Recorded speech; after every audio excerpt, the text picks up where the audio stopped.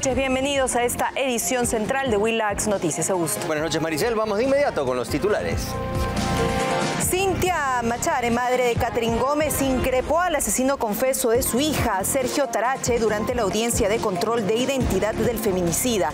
Madre de la víctima lo encaró porque la fiscalía solicita cadena perpetua.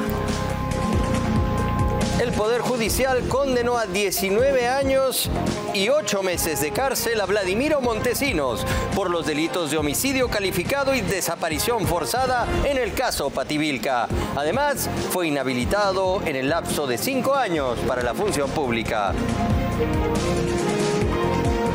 Que las autoridades del Cusco llegaran a un acuerdo con el gobierno central, las organizaciones gremiales y pobladores de Machu Picchu decidieron levantar el paro indefinido que acataban desde la semana pasada.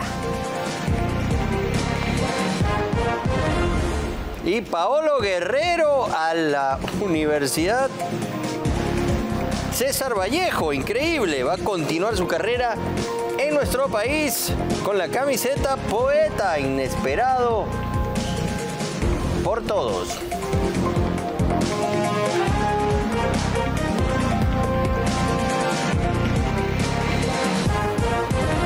Todo esto tras regresar de la pausa, pero también vamos a hablar de lo que ha ocurrido en el Club Revolver porque han robado armas de colección.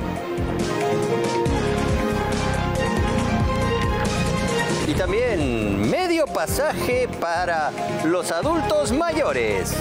Les contamos más al volver.